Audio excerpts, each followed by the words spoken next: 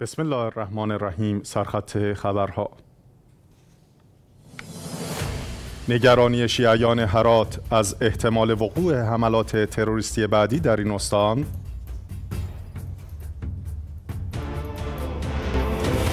رکورد تمام شاخصهای آب و هوای جهان در سال 2023 شکسته شد. پیشبینی سازمان ملل امنیت غذای یمن تا سه ماهه سوم سال جاری وخیمتر خواهد شد.